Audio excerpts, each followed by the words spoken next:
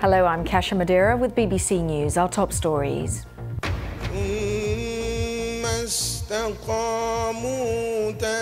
A multi faith memorial service is held in Louisville, Kentucky, in celebration of the life of the boxing legend Muhammad Ali.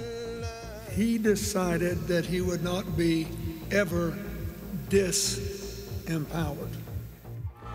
Earlier, there was chanting, cheering, and tears as his cortege was driven through the streets of his hometown.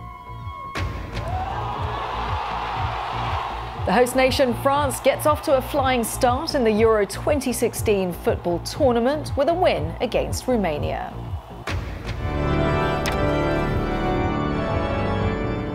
A national service of Thanksgiving in London for Queen Elizabeth to mark her 90th birthday.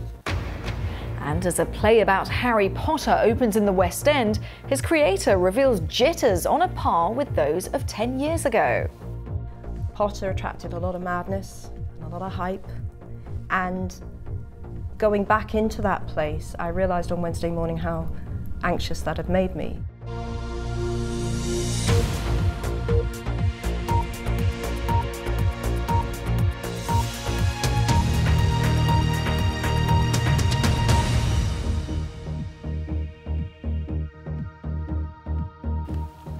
Hello and welcome. It has been a day of tributes and memorials to honour Muhammad Ali in his home city of Louisville, Kentucky.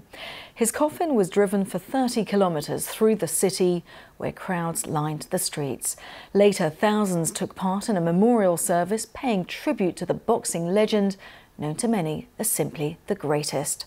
Our North America editor Jon Sopel reports from Louisville.